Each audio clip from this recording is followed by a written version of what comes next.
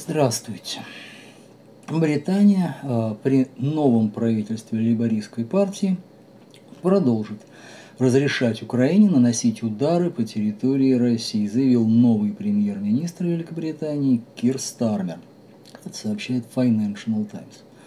Глава МИД Украины Дмитрий Кулеба заявил о намерении украинской делегации, возглавляемой президентом Владимиром Зеленским обсудить вопрос использования дальнобойного оружия США для нанесения ударов по аэродромам на территории России во время саммита НАТО в Вашингтоне.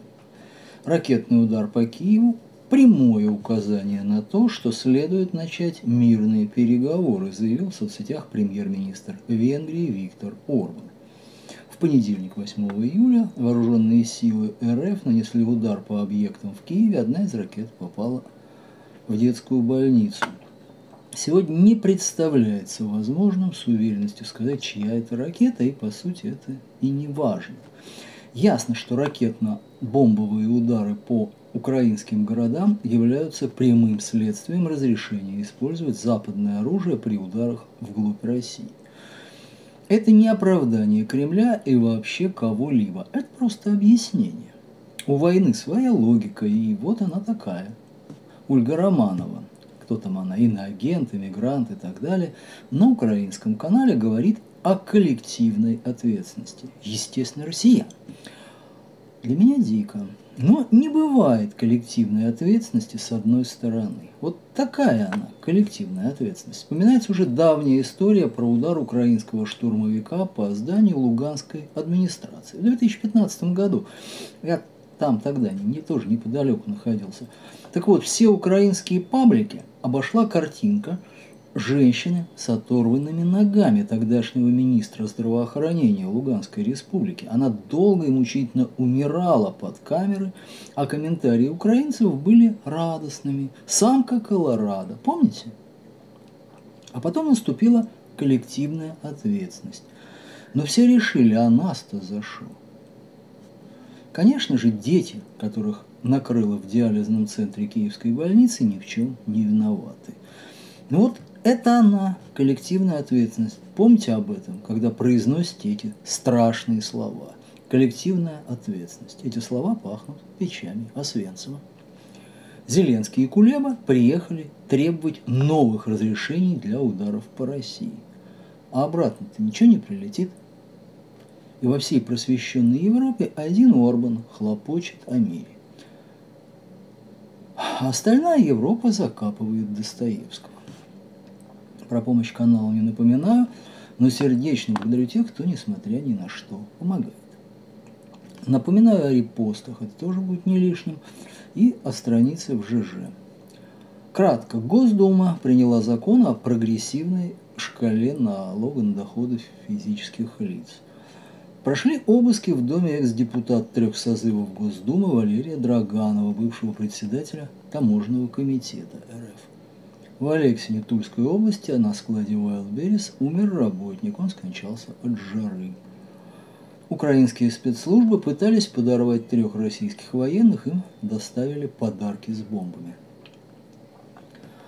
Внутренний туризм решили стимулировать новым налогом. Госдума приняла в окончательном третьем чтении закона о совершенствовании налоговой системы, который включает в себя введение в России – туристического налога. Теперь муниципалитеты будут самостоятельно определять размер такого налога. Он будет уплачиваться в бюджет по месту нахождения гостиницы. В 2025 году ставка налога составит 1% от стоимости проживания. До 2029 года она будет прибавлять по одному процентному пункту в год. У нас что-то там говорили о развитии внутреннего туризма взамен сильно уменьшившегося зарубежного. А, а новый налог, он что, относится к мерам по развитию туризма? Ну, теперь-то дело пойдет. Журавлев разоблачил Пугачеву. Депутат Госдумы Алексей Журавлев направил запрос главы Минюст Константину Чученко с просьбой признать певицу Аллу Пугачеву иноагентом. Цитата. Прошу вас рассмотреть вопрос о признании Пугачевой Аллы Борисовны лицом, находящимся под иностранным влиянием и занимающимся в РФ целенаправленным сбором сведений в области военной и военно-технической деятельности РФ и распространением сообщений для неопределенного круга лиц, сказано в документе. Шпионка, что ли, оказалась? Сведения он собирает. Вообще любого, кто постоянно проживает за границей, можно смело признавать иноагентом, не вдаваясь особо в объяснение. Ну вот писатель Гоголь, например, так и помер в Италии, которая нравилась ему куда больше, чем Миргород. Или писатель Тургенев, тот вообще был женат на француженке, естественно, находился под иностранным влиянием. Про, изменник, про изменника Родины Герцена даже не говорю. А Пугачеву вообще пробы ставить некуда. И известность-то получила, когда выиграла Золотой Орфей, между прочим, в стране НАТО. Молодец, депутат Журавлев. Бдительный оказался товарищ. Надо бы ее осудить еще за что-нибудь заочно, ну, хоть за шпионаж какой-нибудь диверсии.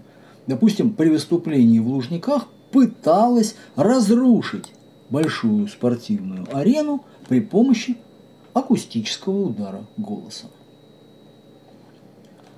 Две трети россиян отложили покупку жилья. После отмены льготной ипотеки 66% россиян отложили покупку жилья. Об этом сообщила РБК со ссылкой на результаты исследований финансового маркетплейса «Сравни». Кроме того, 23% признали, что готовы взять ипотеку вне зависимости от ставки, если им попадется подходящий вариант. Еще 11% решились на ипотечный кредит раньше, чем планировали, чтобы успеть воспользоваться льготной программой. Ну а что? Жили ж как-то раньше, без ипотеки вообще. В простоте жили. Квартиры вон государство бесплатно выдавало, что было абсолютно непереносимо, потому что хотелось рынка жилья вместо бесплатной квартиры. Теперь хорошо стало, рынок есть. Квартир, правда, не всем хватает. То есть квартир-то достаточно, даже в избытке, а вот купить не на что.